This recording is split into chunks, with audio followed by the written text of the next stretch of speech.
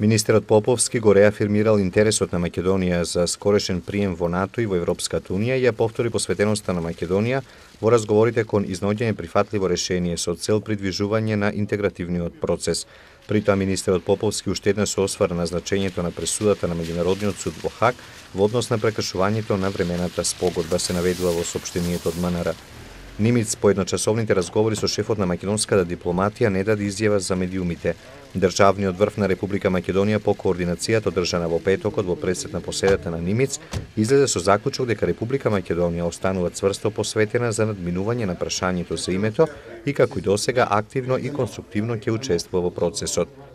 Како страна која со сериозен пристап учествува во разговорите, очекува и се надева на иста активност, сериозност и конструктивност и од другата страна.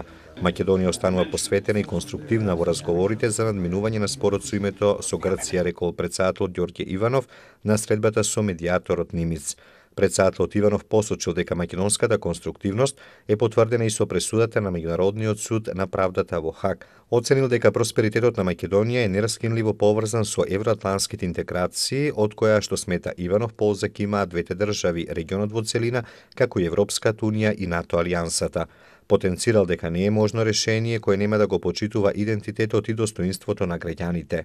За очекувањето од посетата на Нимиц, премиерот Груевски во петокот изјави дека треба да се сочеки да се види што ќе донесе медиаторот. Сигурно доаѓа со некакви намери и идеи. Останува да ги слушнеме, да ги анализираме и потоа да дадеме изјави, рече македонскиот премиер најави дека доколку некогаш се дојде до конкретен и прифатлив предлог, тој ќе биде ставен на референдум.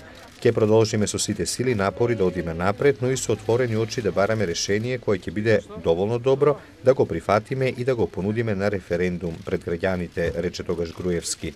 Медијаторот Нимиц утре од Скопје ќе замине за Атина, каде што треба да има средби и со грчки државни представници.